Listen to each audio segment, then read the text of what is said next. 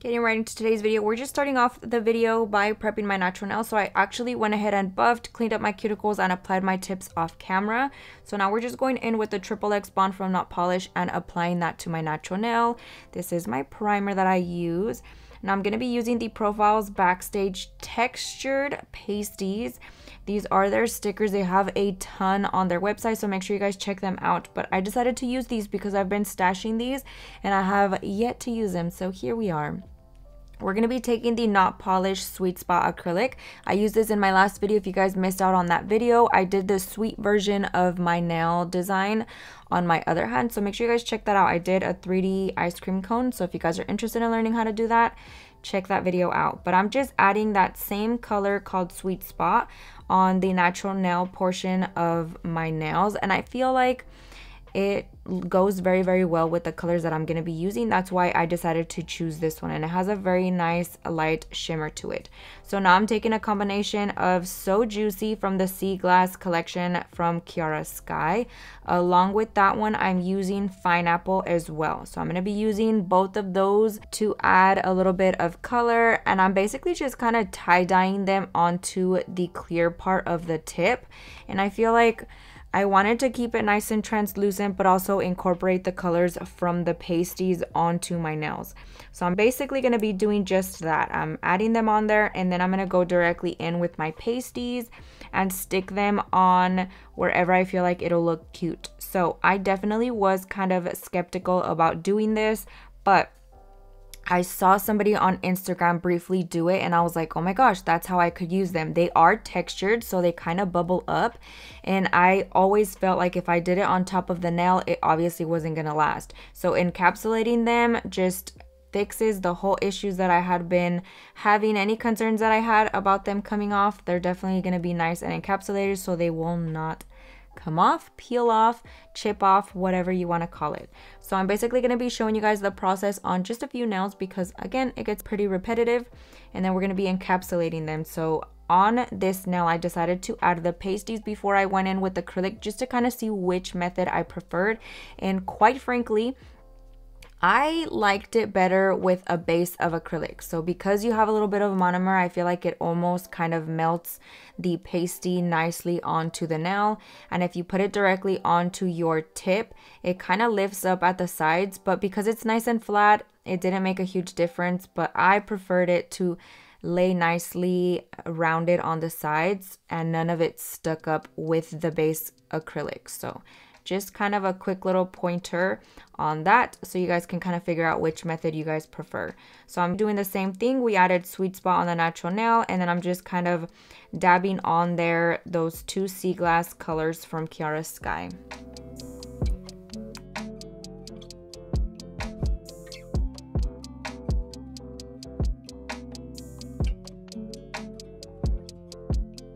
I went ahead and finished the rest of the application on my nails, including the encapsulation portion.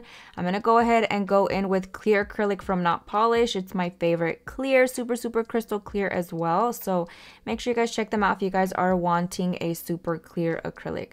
I'm just going to be going over top of the nail art and basically the rest of my nail because I want to add that nice thickness to them since they are really long. I want to make sure that I'm building up that acrylic nicely so that they do not break or crack on me. So I'm just going to go in and apply that. Also forgot to mention the brush that I'm using is the Sculpted Like It Taught in the number 12 from Profiles Backstage. It's their black one and I love their brushes as well. So if you guys are interested in that, go ahead and check that out.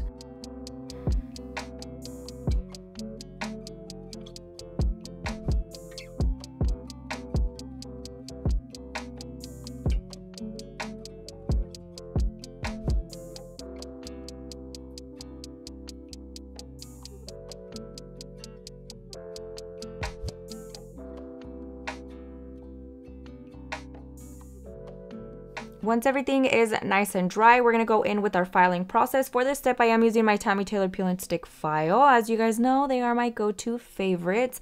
Tons of other brands have amazing files as well, but I feel like I just gotten so used to these. So I will forever have these in my heart. But we're going to go in and file the sides, make sure that the shape is nice and crisp. And then I'm going in on the tip as well. And then I'm actually becoming obsessed with hand filing all over again. I used to really, really like it. And then I got used to using an e-file, so I kind of just stuck to that. But recently, I started hand filing again and I missed it. So here we are, hand filing away the surface of the nail. I feel like you get such a nice shape to them and you're able to fully see exactly where you need to file a little bit more. So if you're struggling with the smoothness of your nail using an e-file, I always recommend going back in with the hand file and you'll be able to really fully see.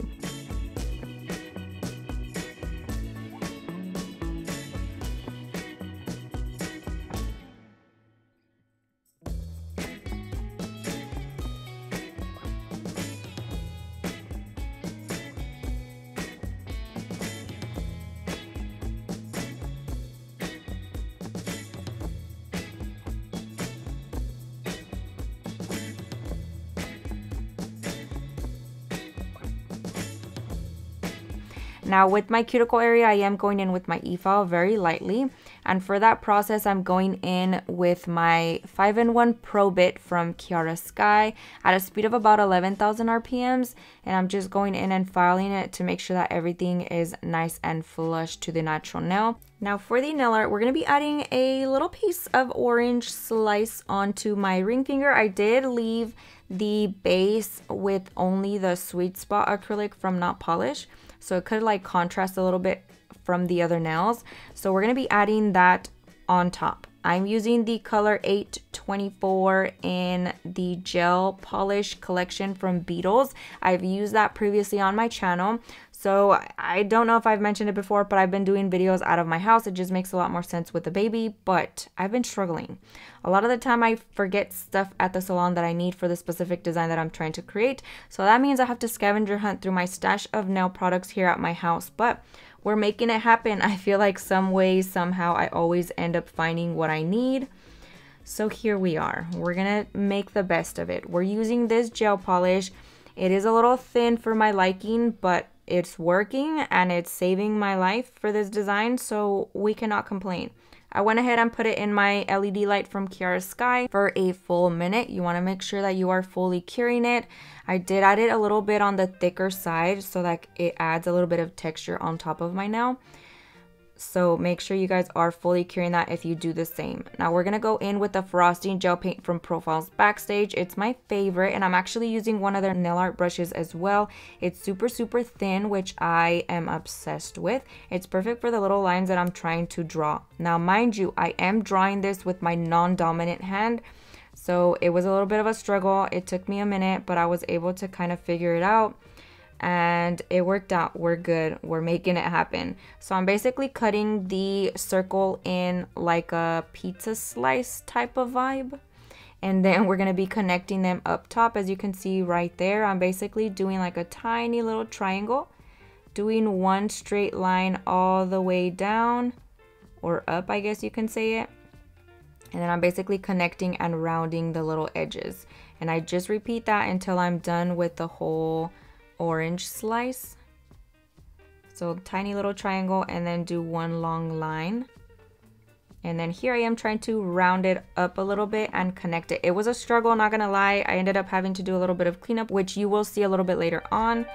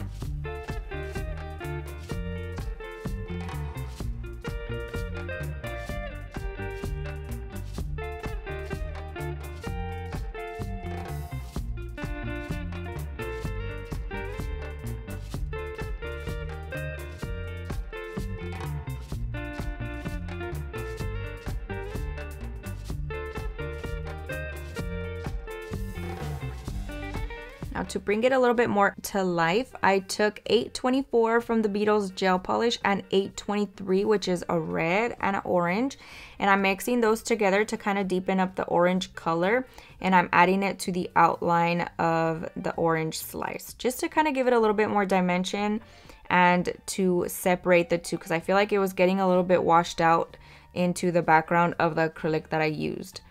Now I'm taking some white gel paint and that same orange color and I mixed them together to get a lighter shade and I'm just drawing like little veiny details on the inside of the orange to, again, try to make it look a little bit more realistic.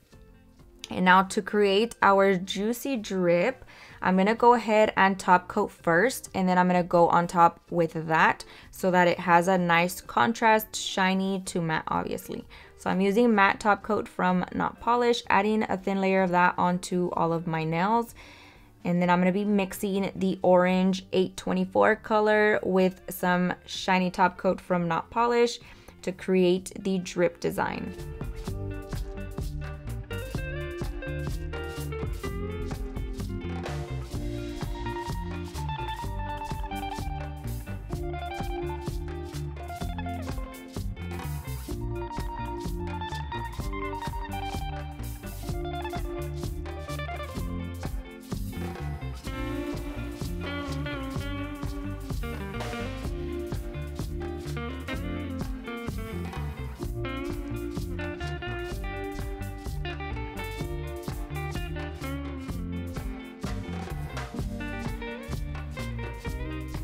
Now, of course, always remember to cure in between layers. I know I don't show that on camera. It gets a little tricky to do that, but I always try mentioning it when I do cure. So I went ahead and cured the top coat.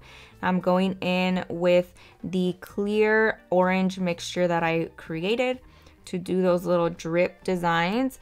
And then we're gonna be layering it on about two or three times in between curing layers, of course, and just to give, again, a little bit more dimension to it.